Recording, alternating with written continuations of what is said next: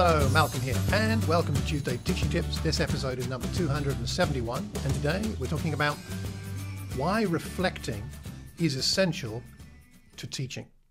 Why reflecting is essential to, I would say, healthy teaching, good teaching, insightful, impacting, inspiring teaching. Let me set the scene. This coming Sunday, I'm preaching on John chapter 9, the man born blind, in the latest, latest uh, sermon in our series, the One Thing series.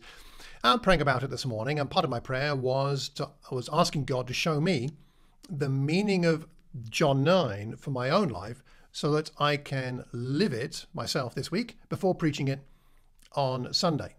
See, reflecting on a passage is part of preparation, and as a place, which I've talked about elsewhere, to pull apart a text, to analyze it, to exegete it, to research the content, the context, all of that is good stuff. But another essential and, in my experience, neglected aspect of preparation is reflection. Now, in her book, Your MA in Theology by Zoe Bennett, she says this Reflection takes time and demands attention to what is new to us rather than a quick jumping to conclusions or hurrying on so fast, we miss things. Uh, she's writing there about writing an MA.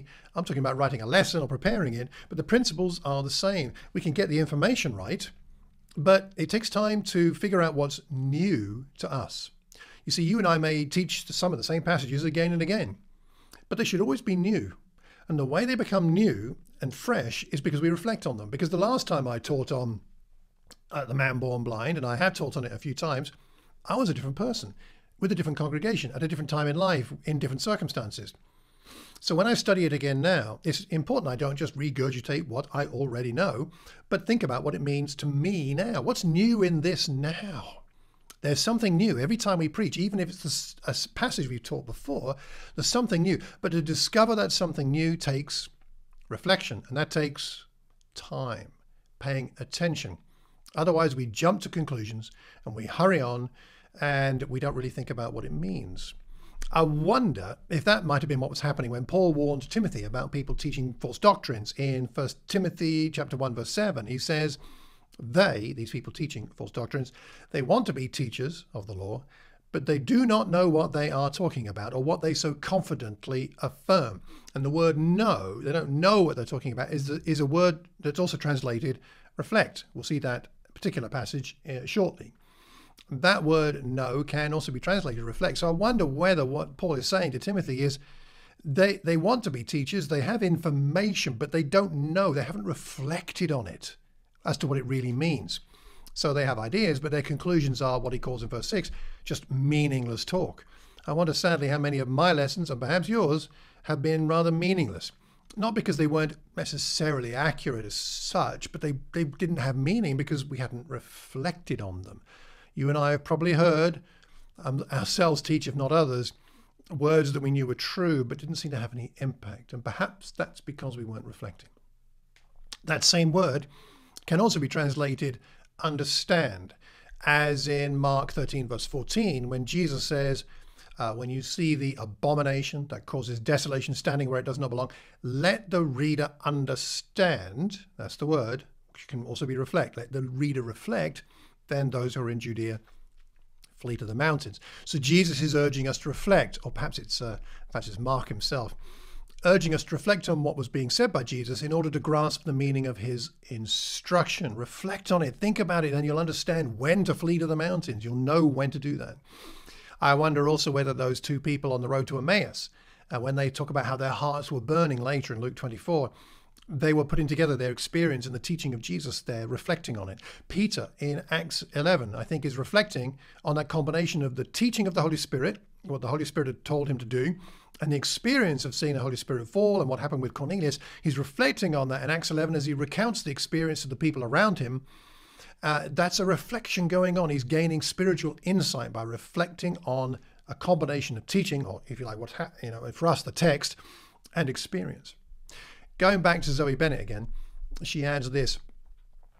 A former colleague of mine, Brother Patrick Moore, used to say, and I love this phrase teaching is the overflow of contemplation. Isn't that a beautiful expression? Teaching is the overflow of contemplation. And I think that's correct. Certainly, we must study a text, but if it hasn't touched us personally, it's simply going to be, when we teach it, a, a transference of information rather than what it could be a life altering teaching opportunity. What separates so many lessons from dryness, from being dry to being meaningful and having an impact is because they've touched the speaker personally.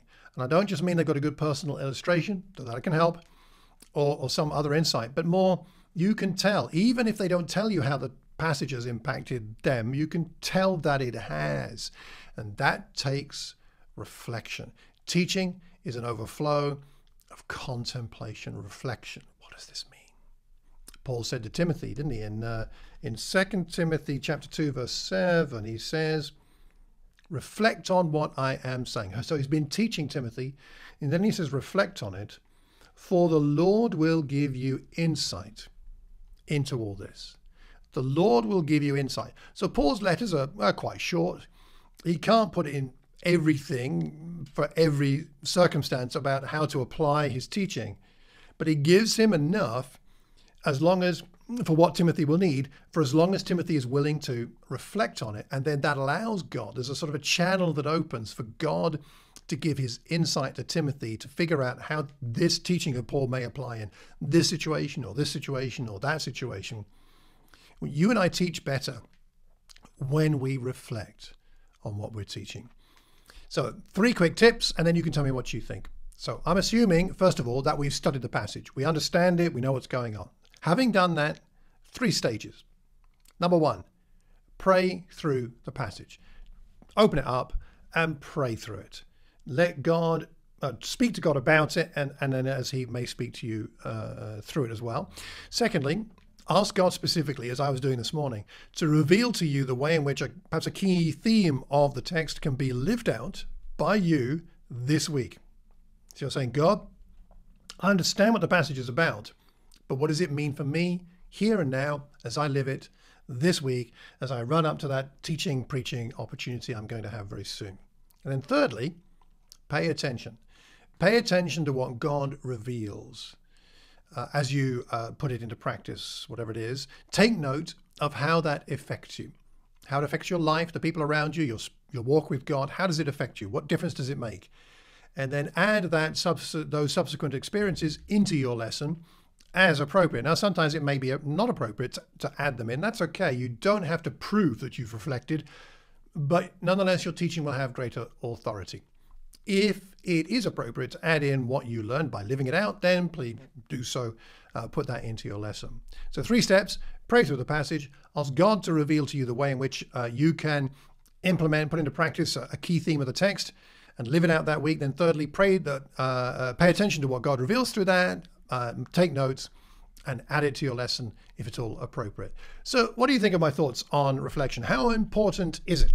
Is it something you've uh, not done and would like to try doing? Is it something you have done and haven't found it particularly useful in some way? I don't know. Maybe you could let me know.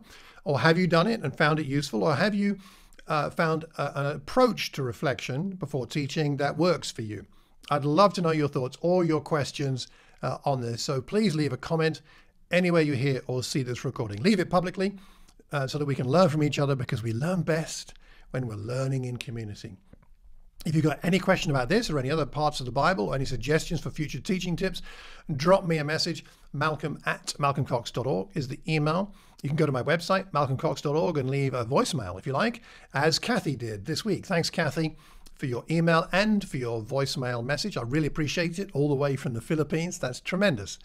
Uh, if you'd like a copy of my free ebook on spiritual disciplines called How God Grows His People, then sign up for my lovely newsletter at the website.